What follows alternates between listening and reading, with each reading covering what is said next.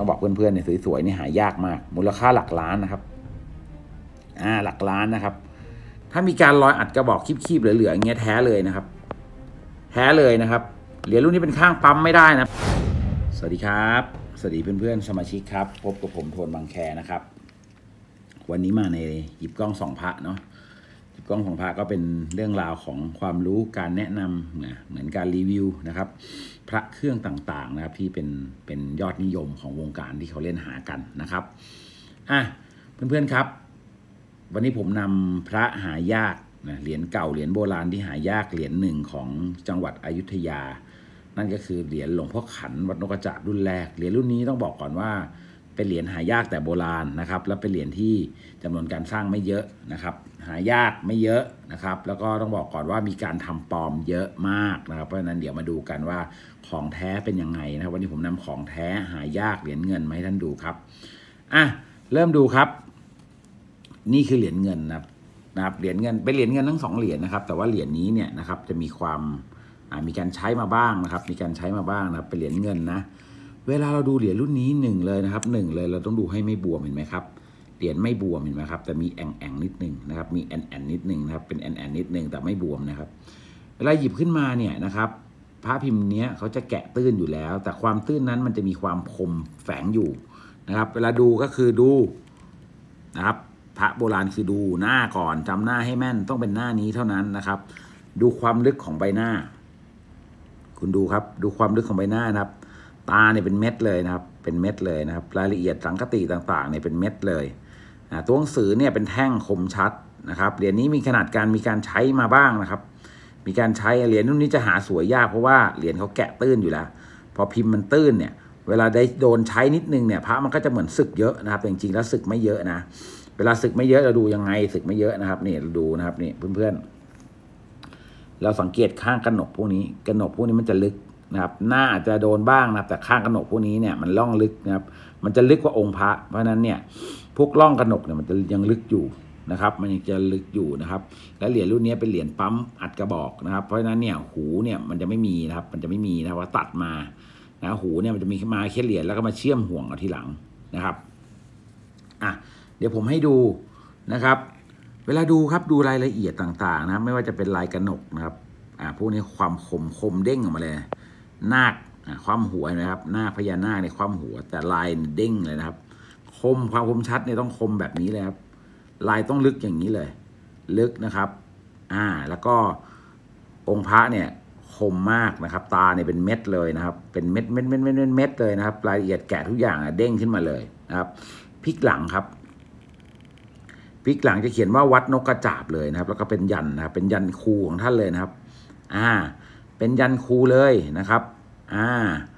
นะครับ เป็นยันครูท่านเลยตัวนี้เลยนะครับ ตัวหนังสือเนี่ยจะเป็นแท่งคมชัดเดี๋ยวผมเดี๋ยวผมจะโฟกัสให้ดูนะครับ เห็นไหมครับ ตัวหนังสือเนี่ยเป็นแท่งคมชัดนะครับอ่าเหรียญนี้เนี่ยดีเทลตำหนิรอยแตกตามต่าง ๆ ตามยันเนี่ยมันเป็นตำหนินะเป็นเป็นเป็นของของเขามีอยู่นะ แต่ว่าผมไม่ได้ชี้ให้เพราะว่า เพราะว่าผมให้ดูเบสิกเหรียญนะครับ ผมจะให้ดูเบสิกเหรียญเพราะถ้าท่านท่านดูเบสิเบสิกเหรียญเป็นเนี่ยท่านจะดูทุกเหรียญทุกอย่างเป็นนะครับ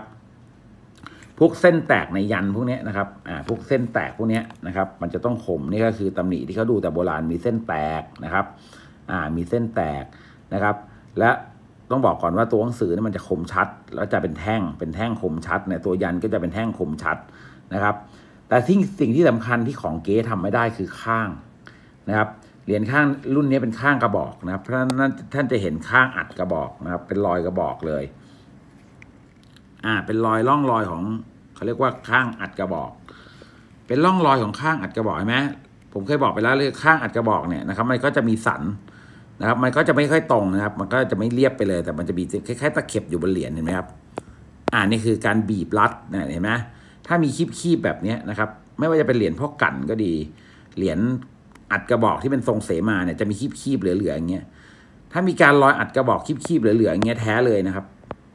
แท้เลยนะครับเหรียญรุ่นนี้เป็นข้างปั๊มไม่ได้นะต้องเป็นข้างอัดกระบอกนะครับ การอัดกระบอกคือการปั๊มแต่การปั๊มแบบแบบวิธีอัดนะครับ เพราะนั้นบางทีท่านจะเห็นเส้นเหมือนตัวตัดนะแต่มันไม่ใช่ตัวตัดนะครับ มันคือข้างอัดเข้าไป มันเป็นรอยกระแทกของการอัดกระบอกเข้าไปนะครับ บางบางท่านเห็นเป็นรอยเลื่อยนะครับจจริงๆ ไม่ใช่รอยเลื่อย มันเป็นรอยรอยแต่งหลังจากกระบอกแล้วมันมีคีบปิ้นออกมาเขาแต่งตะไบนะเพื่อจะเชื่อมหูนะครับ อย่างเงี้ยบางท่านเห็นบอกเฮ้ย เฮ้ยนี่มันข้างเลื่อยหรือเปล่าจริงจริง ๆ มันไม่ใช่ข้างเลื่อย มันคืออัดกระบอกมาแล้วพออัดกระบอกมาปุ๊บเนี่ยเหรียญเนี่ยพออัดกระบอกมาเสร็จใช่ไหมครับพออัดเสร็จแล้วมันมีคีบเหลือเนี่ยนะครับเขาก็ต้องแต่งแต่งขอบให้มันเรียบนะครับ เพื่อจะเชื่อมหูนะครับ แต่แต่คีบแบบพวกนี้ตามตามขอบเว้าเนี่ย ถ้ามันปิ้นถ้ามันขอบ ถ้ามันเป็นคีบแบบนี้แท้เลยนะครับ นี่คือข้างอัดกระบอกนะครับ เดี๋ยวผมให้ดูอีกเหรียญหนึ่งนะครับเผื่อท่านบางท่านอาจจะสงสัยนะครับนะอันนี้สวยกว่า อันนี้สวยกว่าท่านจะเห็นเลยความคมชัดเนี่ยมันมันจะชัดกว่าไหมครับ พระอาจารย์ขันเนี่ยนะพระอาจารย์ขันโหรายละเอียดเม็ดตาตาเป็นเม็ดเลยเนี่ยสำคัญนะตาเนี่ยต้องเป็นเม็ดนะของแท้ตาต้องเป็นเหรียญเหรียญเมื่อกี้ก็เป็นนะครับอ่าแล้วก็หนกลึกๆเห็นไหมครับ อันนี้จะสวยกว่าเห็นไหมครับ อันนี้จะมีกระไหลอยู่บนพื้นอีกด้วยนะครับ เป็นเป็นเงินแล้วกระไหลเงินทับอีกทีนะครับ พระอาจารย์ขันเหมือนกันนะครับ ลักษณะการดูหน้าหลังเหมือนกันเห็นไหม เนี่ยรอยเส้นตรงเส้นแตกมีเหมือนกันเห็นไหมครับเนี่ยที่ผมบอกอะเส้นแตกกลางยันเนี่ยครับเนี่ยบางท่านบอกว่าแตกตรงไหนนะครับอันนี้ดูตรงนี้ เส้นแตกเนี่ยมันจะแตกตรงนี้ ไล่ลงมาเลยเนี่ยแตกกลางยันเลยนะครับ แล้วก็จะเขียนว่าวัดนกกระจาบเห็นไหมครับอ่าวัดนกกระจาบเห็นไหมครับ ตัวยันเป็นแท่งเป็นคมชัดเลยนะครับ คมชัดเลย ตัวยันนี่ยันคูท่านเลยนะครับอะ แล้วสิ่งสำคัญที่ผมบอกครับ คือสุดท้ายข้างต้องเป็นกระบอกนะครับ รุ่นนี้ต้องเป็นข้างอัดกระบอกเห็นไหมครับท่านก็จะเห็นคลอยเนี่ยนะครับเดี๋ยวผมให้ดูฝั่งนี้ฝั่งนี้ดีกว่ามันจะเห็นชัดเห็นนะเห็นคีบไหมเนี่ยเห็นเห็นคีบไหมครับเนี่ยติ่งคีบเนี่ยเห็นไหมครับอ่าเนี่ยเห็นไหมเนี่ยคีบเป็นคีบปิ้นๆเนี่ยเป็นตะเข็บคล้ายๆตะเข็บเลย ข้างบนเหมือนกันครับ มีการแต่งตะไบเพราะว่ามันปิ้นมันปิ้นออกมาแล้วมันมันไม่สามารถเชื่อมหูให้สวยงามได้ เขาก็เลยต้องแต่งตะไบให้มันเชื่อมหูได้ นะครับหูนี่เป็นเชื่อมนะครับ เป็นการวางเชื่อมนะครับ เชื่อมแบบโบราณเหมือนหูเชื่อมทั่วไปนะครับ เนี่ยเป็นข้างเป็นข้างกระบอกนะครับเนี่ยท่านท่านดูนะแต่มันก็จะมีรอยแต่งตะไบหรือว่าอาจจะเห็นเห็นรอยขีดเหมือนปั๊มๆแต่ว่าจริง ๆแล้ว เป็นปั๊มอัดกระบอกใช้คำว่าปั๊มได้ แต่ว่าเขาเรียกว่าปั๊มอัดกระบอกเป็นเป็นอีกวิวัฒนาการการทำอีกแบบหนึ่งนะครับ ไม่ใช่ปั๊มแบบตัวตัดนะครับอ่านะครับ คือก็คือการเก็บค่าให้มันเรียบร้อยนั่นแหละ